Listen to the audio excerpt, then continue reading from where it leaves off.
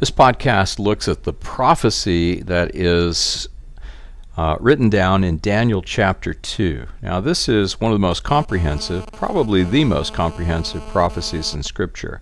And um, it's remarkable because you can trace down the Bible story with one hand and the Encyclopedia Britannica with the other and see how they fit together. And uh, you'll see in just a minute how that goes. Um, the setting is uh, somewhere around 600 BC. Daniel has been carried off in captivity to Babylon from Jerusalem, he and a bunch of other young guys, to be educated in Babylonian universities for administrative positions in Nebuchadnezzar's empire. And uh, during, uh, during this time, um, some interesting events take place surrounding a dream that King Nebuchadnezzar has. Here's the scripture. One night during the second year of his reign, Nebuchadnezzar had such disturbing dreams that he couldn't sleep. He called in his magicians, enchanters, sorcerers, and astrologers, and he demanded that they tell him what he had dreamed. As they stood before the king, he said, I have had a dream that deeply troubles me, and I must know what it means.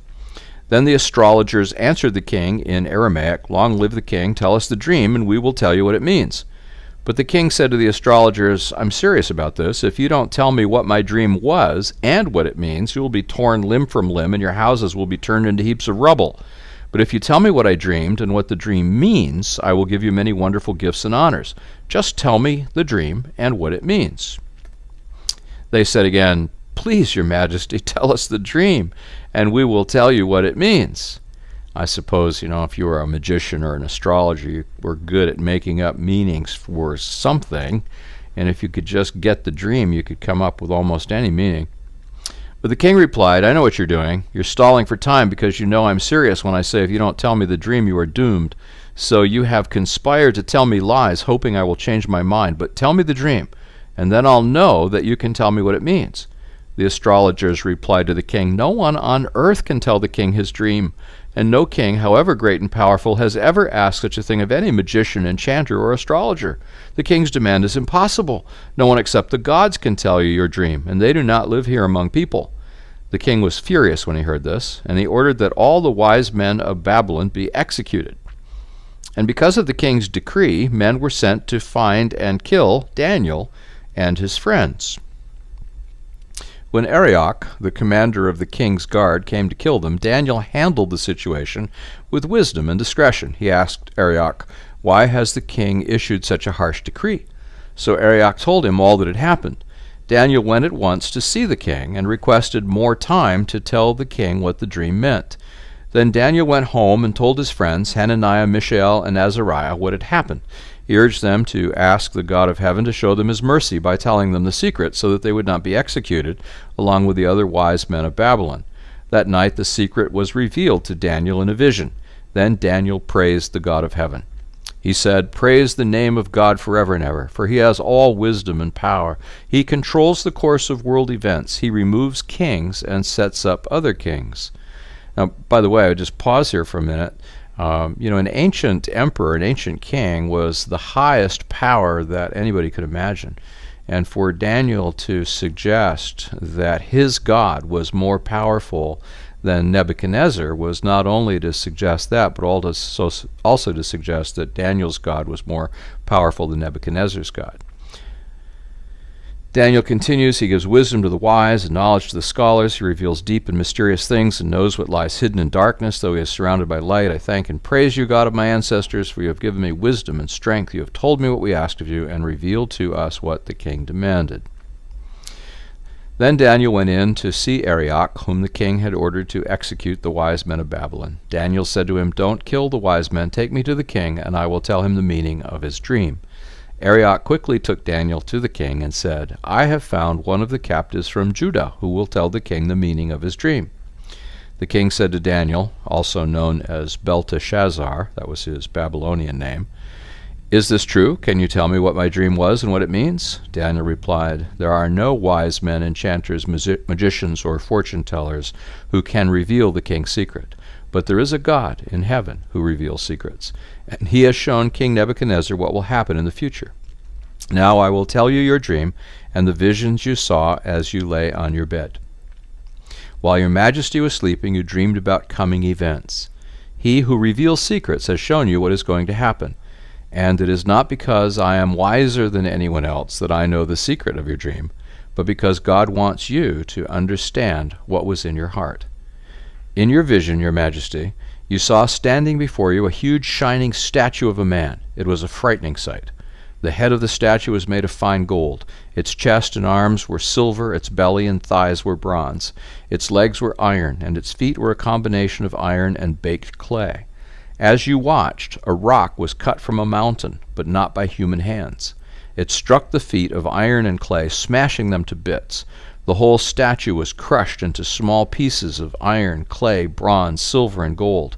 Then the wind blew them away without a trace, like chaff on a threshing floor. But the rock that knocked the statue down became a great mountain that covered the whole earth. That was the dream. Now we will tell the king what it means. Your Majesty, you are the greatest of all, all kings. The God of heaven has given you sovereignty, power, strength, and honor. He has made you the ruler over all the inhabited world and has put even the wild animals and birds under your control. You are the head of gold. But after your kingdom comes to an end, another kingdom, inferior to yours, will rise to take your place. After that kingdom has fallen, yet a third kingdom, represented by bronze, will rule the world. Following that kingdom, there will be a fourth one, as strong as iron. That kingdom will smash and crush all previous empires, just as iron smashes and crushes everything it strikes. The feet and toes you saw were a combination of iron and baked clay, showing that this kingdom will be divided. Like iron mixed with clay, it will have some of the strength of iron, but while some parts of it will be as strong as iron, other parts will be as weak as clay. This mixture of iron and clay also shows that these kingdoms will try to strengthen themselves by forming alliances with each other through intermarriage, but they will not hold together, just as iron and clay do not mix. During the reigns of those kings, the King of Heaven will, the God of Heaven, will set up a kingdom that will never be destroyed or conquered. It will crush all these kingdoms into nothingness, and it will stand forever. That is the meaning of the rock cut from the mountain, though not by human hands.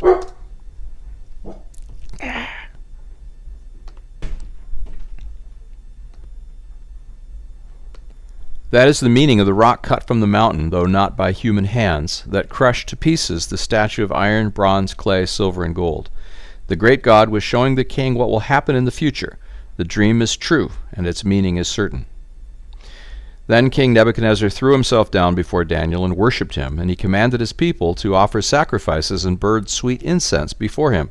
The king said to Daniel, Truly your God is the greatest of gods, the Lord over kings, a revealer of mysteries, for you have been able to reveal the secret. Then the king appointed Daniel to a high position and gave him many valuable gifts. He made Daniel ruler over the whole province of Babylon, as well as chief over all his wise men. At Daniel's request, the king appointed Shadrach, Meshach, and Abednego to be in charge of all the affairs of the province of Babylon, while Daniel remained in the king's court. All right, well, let's unpack it just a little bit here. Um, here's a representation of the image. Maybe this is something like what uh, King Nebuchadnezzar saw. You notice the head of gold and the chest of silver and the belly and thighs of brass, and the legs of iron, and the feet made up of iron and clay mixed together. And there you see the rock cut out without hands.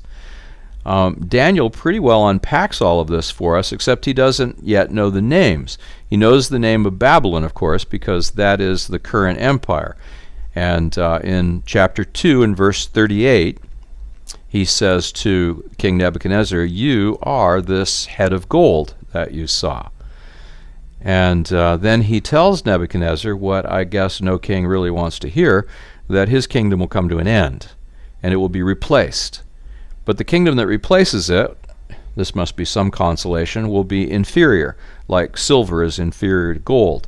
And sure enough, if you go look in the Encyclopedia Britannica, you'll discover that the Persian Empire took the place of the Babylonian Empire and ruled the same territory. Then Daniel says, and that empire also will come to an end, and it will be replaced by another empire.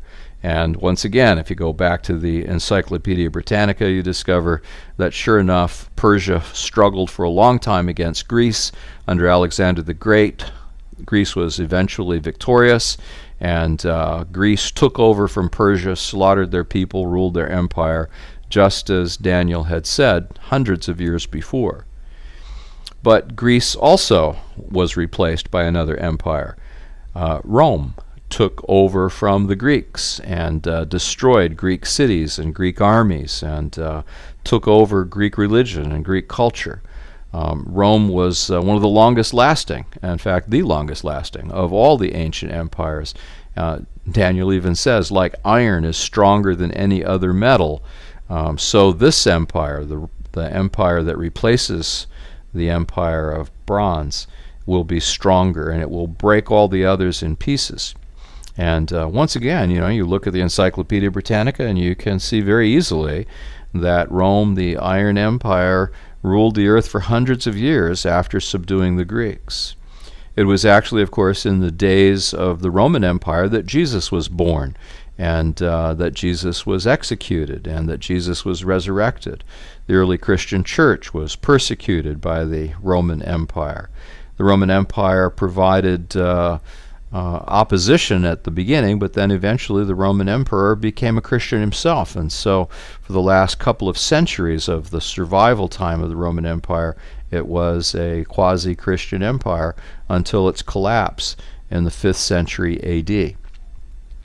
Notice um, in Daniel chapter 2, verse 41, the statement that uh, when the Roman Empire breaks up, uh, it would result in a coalition of different nations uh, represented by the ten toes on the image. As a matter of fact, historians have been able to identify ten uh, tribes that uh, resulted from the breakup of the Roman Empire in Europe. Um, but um, at any rate, the interesting thing is that Daniel predicts that there will never again be another uh, worldwide empire like the Roman Empire. That the resulting nations that uh, come out of the breakup of the Roman Empire will remain partly strong and partly weak. Um, and that, of course, is exactly what happened. We call this the Middle Ages, when Europe was dominated by tribes, all struggling for supremacy over each other. Tribes that eventually gave us the nations of Portugal and France and Spain and Germany and Italy and so on. Then Daniel says what is most important about this whole prophecy in the days of these kings, the God of heaven will set up a kingdom that will never be destroyed. And Nebuchadnezzar sees this as the rock that is cut out of the mountain without hands strikes the image on the feet, and it grinds the image to powder, and the wind blows it away, and then the rock becomes huge and it fills the whole scene. And Daniel explains that this is God's kingdom which takes over from all the earthly kingdoms and becomes the one kingdom that rules everything.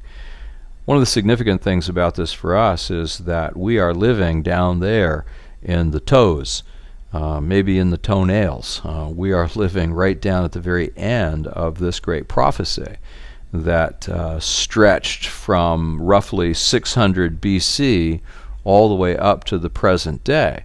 Um, 2,500 or more years that um, this prophecy has been active and has been helping us to understand where we are in the flow of things. That God wasn't surprised by anything like this, that God knew what was going to happen, and uh, that God helps us to get located and to understand that human empires may come and go, but the great outcome is going to be the creation of God's kingdom. And that's an empire that will come, but it will never go. In summary, about 600 BC, God laid out the history of the Middle East for the next 1500 years. All the history books agree. The next event is the second coming. We are, you might say, living in the very toenails of time. And uh, there's not very much of it left if this prophecy is to be believed.